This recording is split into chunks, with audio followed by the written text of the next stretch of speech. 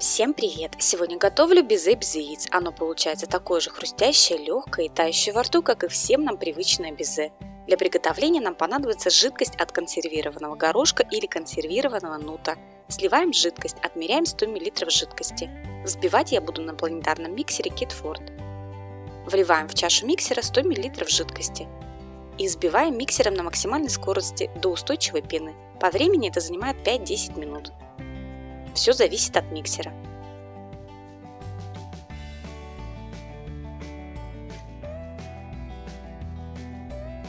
Теперь постепенно добавляем сахар 180 грамм. Взбиваем до стойких пиков. По времени это занимает 7-10 минут. Теперь добавляем немного лимонной кислоты или сок лимона, ванилин, одну чайную ложку крахмала. Немного взбиваем.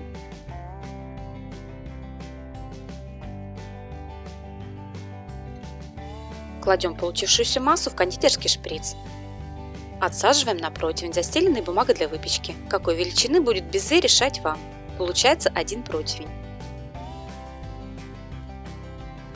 Ставим в разогретую духовку до 110 градусов и сушим безе 1 час 20-30 минут. Готовность можно проверить. Если безе хорошо отстает от бумаги, значит готово. Выключаем, закрываем дверцу духовки и так безе оставляем в духовке до полного остывания.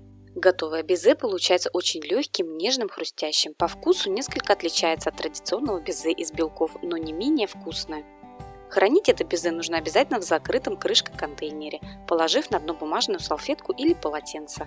Открытое безе быстро теряет свою хрустящую структуру.